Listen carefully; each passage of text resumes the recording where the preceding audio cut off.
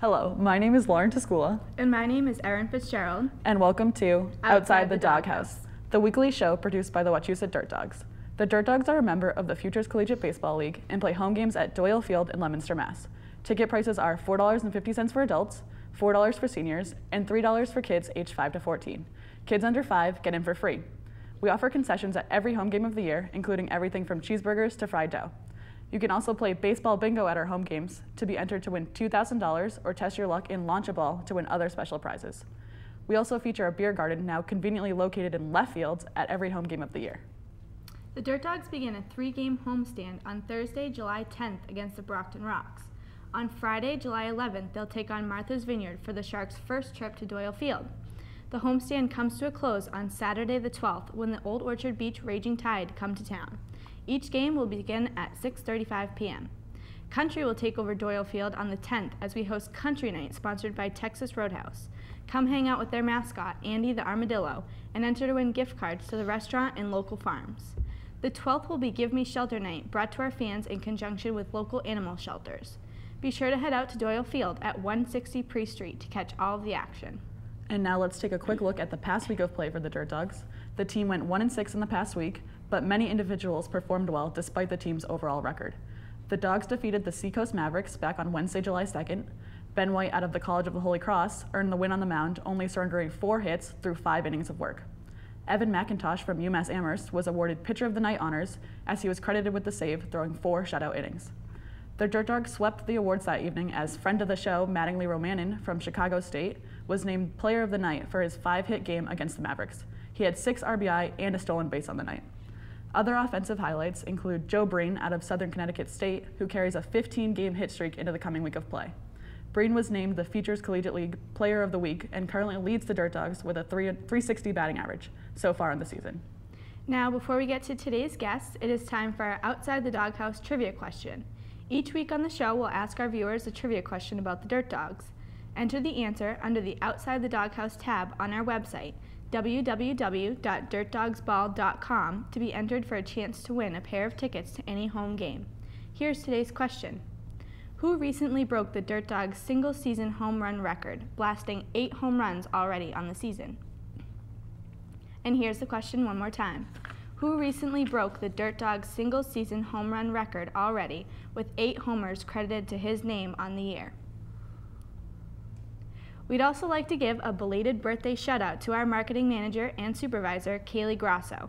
Thank you so much, Kaylee, for all that you do for the Dirt Dawgs, and we hope you had a great day. Thanks, Erin. And now we'll get to today's guests. We have Mike Corin, Tommy Buonopane, and Matt Ferraiolo, all with us from the University of Rhode Island. Thanks for being with us, guys. Welcome. Thank you. Thank you. Thank you. So before we get started, we're going to play a quick little game. Where Erin and I are going to name players, and you guys are going to give us the first word that comes to mind. You guys ready? Yep. All right, the first one, Michael Rizzatello. Loud. Long Island. The voice. and next one's Tony Rallo. Definitely engaged. Nice guy. He's my uh, throwing partner. Uh, Joe Breen. Obvious, just muscles. Teddy bear. Red Bull. And then Sean Abate. Definitely Bassmaster. Caught his first fish. Mafia. Uh, I say funny. Austin Botts. Hmm. Gotta say big softy. Big country. He hits balls very far. And then Ben White. Fenway is a clown. Definitely. Best dancer. Um, Holy Cross. Mike London. Snapchat. That's all he does. He shoves on the mound. Shouts. Shoves. Oh. I mean, he does good. Um, he was the first person on the team to add me on Twitter. I would say. Yeah. and then Matt Russell. Star Wars. He's obsessed. He's got a nice stash. Um, pinch runner. Ryder McConey. Definitely a health freak. Hit the furthest ball of the year, probably. Um, hard worker. And Curtis White. Uh, Aladdin because of his baseball pants. Hitch. I would say um, Pedro Serrano. All right. And here's the last one jabs. Who? no, I'm just kidding. No, definitely I Frankenstein. And uh, jabs is just jabs to me. Damn. Just jabs. He's a stud. Yeah, The he's- definition of a stud. So thank you for playing our game. Um, what's it been like playing summer ball together, living together, and after spending the whole college season together as well? Um, it's uh, it's fun, but I mean, get a little sick of them. He loves us. no, but definitely the chemistry is always there, and it, we try to bring it to our new team, which uh, makes us better usually. Yeah, it's always good having guys that you see all year in school and carrying that to the summer. It's pretty fun, and uh, yeah, you, you get sick of them sometimes, but but it's fun. So. And overall, you've enjoyed your time as Dirt Dawgs? Absolutely. Yeah, it's been fun. Definitely love the guys on the team. Yeah, seems like a fun time. Yeah. So what's been the biggest transition from like hitter and pitcher perspective, transitioning from the A10 conference where you guys use metal bats to this wood bat league? Well, as a pitcher, it's definitely easier because wood bats don't go as far. Yeah. So if you leave the ball down the middle, it's okay.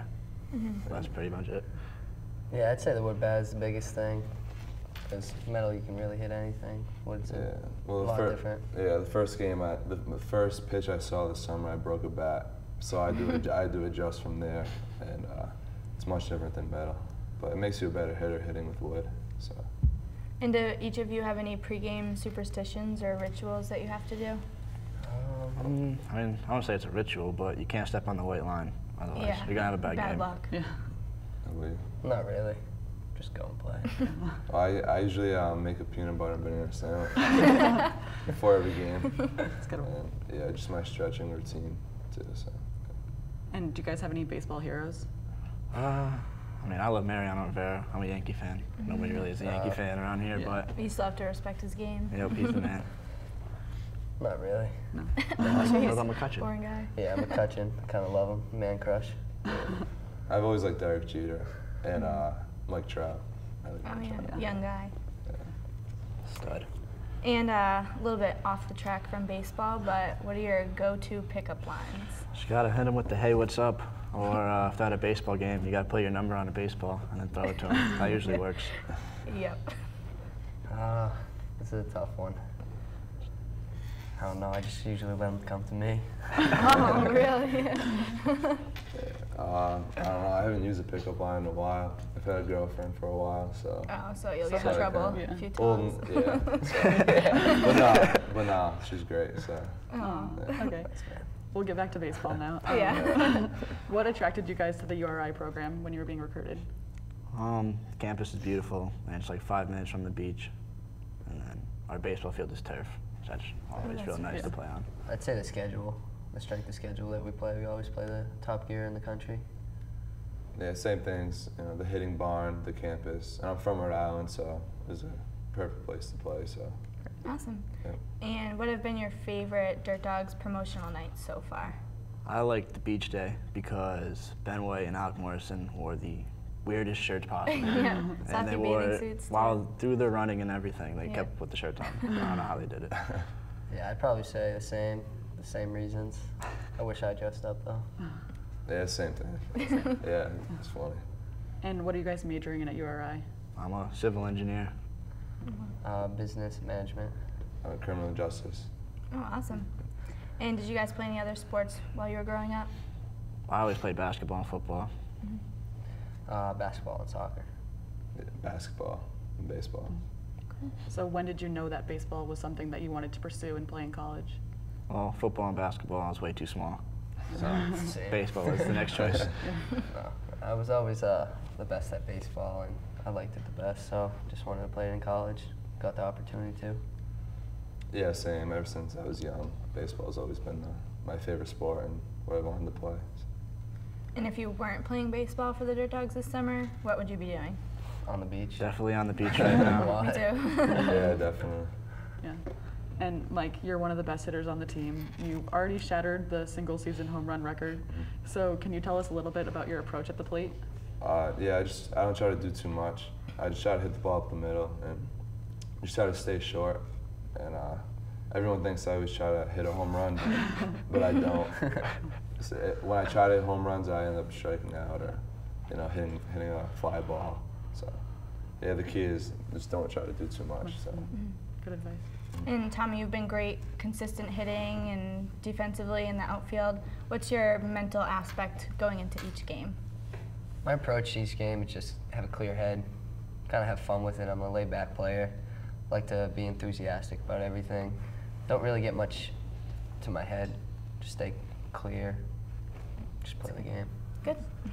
And then finally, Matt, you're one of the Dirt Dawgs' best pitchers out of the bullpen. Mm-hmm. I know our media manager, Evan Cox, really likes to photograph your motion. So, how did you acquire that submarine style? Um, well, coach just asked me one day. He asked me if I ever dropped down. I didn't really know what he was talking about, so I said, I said yeah, and I tried it, and it was actually the ball was moving a lot better. So ever since then, I've just been going lower and lower. And then, can you talk us a little bit through your mindset on the mound against like a really tough batter?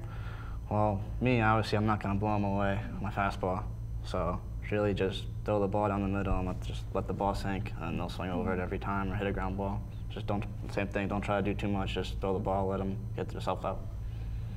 And each of you have any specific reasons for choosing the position that you play? I was not a good hitter. I struck, I struck out a lot, oh. so I, my choice was pitcher, easy, easy choice. Well, I can run a little bit, so they just sent, sent me in uh, center field. yeah. And I've always just played infield and outfield. Well, I just started playing outfield this year at URI, so it, yeah, it's good. Good transition. Okay. And then, I know you mentioned you're a Yankees fan, but what teams you guys root for? Red Sox. Red Sox? Red Sox, yeah. Yeah. definitely. Good. It's Yeah. about time. We always have Yankee fans on the show. yeah. So no offense. No, And there's then- a fence. Yeah, take offense to that. How do you guys feel about the All Star nominations that just came out? Glad Jeter's in it. Yeah. Yeah, yeah. definitely. That was good. And he's starting, so it's good for a Yankee fan. yeah. Disappointed that there's only one Red Sox I right know. now. I'm a little Just left confused, Thursday. but that's all Yeah. they're a little rough right now. That's what they deserve. Yeah, right now I have to agree with you. and uh, Matt, this one isn't really for you, but um, do you guys prefer to hit or play in the field? Hit. Uh, That was Well, expected. that is- Yeah. Yeah. yeah, I'd say hit. Awesome. Yeah. And what have been your favorite baseball memories, either in high school or at URI? Um, well, you are my first appearance. Definitely probably my favorite one. I did well too, so that always works. always nice. Yeah. Yeah, I'd say first college appearance. Really excited and nervous, but Yeah. Very still, nervous. still a lot, a lot of fun. Yeah, I'd say the same. You know, seeing playing a college game is what you've wanted to do your whole life, and yeah, that was definitely the best experience. Nice. And then on the flip side of that one, do you have any embarrassing baseball memories? Oh, Oh, back- That's a big smile. well, I have a bunch, but just one that comes to mind is back in Little League when I was a hitter. I tried to hit the ball, and I fouled it off my own face and broke my nose. So, uh, oh my gosh. not too many good hitting memories.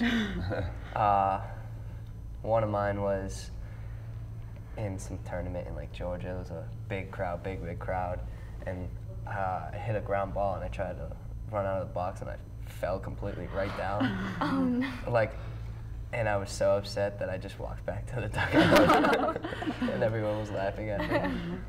Um, one of mine is I was rounding second, and I was trying to steal third, and I just completely just fell on my face. Ugh.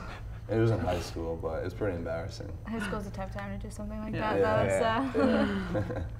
And uh, any infor- any additional information you guys want to add, or any comments or anything? Any goals for the rest of the season? Well, hopefully, we start winning some games. Yeah, Yeah. definitely. Uh, that's definitely the biggest goal. Like Coach Barnaby always says, we got to win the week. One in six wasn't winning the week. No. But Not at all. new week. new New week. Well, thank you guys very much for being on the show today. Thank you. And as a reminder to our fans, we play home games at Doyle Field, located at 160 Pre Street in Leominster, Mass. Ticket prices are $4.50 for adults, $4 for seniors, and $3 for kids aged 5 to 14. Kids under 5 get in for free. And we have a three game homestand this week beginning on Thursday the 10th against the East Division leading Brockton Rocks. We'll host the Martha's Vineyard Sharks for the first time this year on Friday the 11th and finish up the homestand on Saturday the 12th against the Old Orchard Beach Raging Tide. First pitches are all slated for 6:35 p.m. Don't forget that Thursday the 10th is Country Night sponsored by Texas Roadhouse, while Saturday the 12th is Give Me Shelter Night. Thank you again to our guests, uh, to our crew, to FATV, and most importantly to our viewers for tuning in. See you here next week for Outside Outside, the. Dawg House.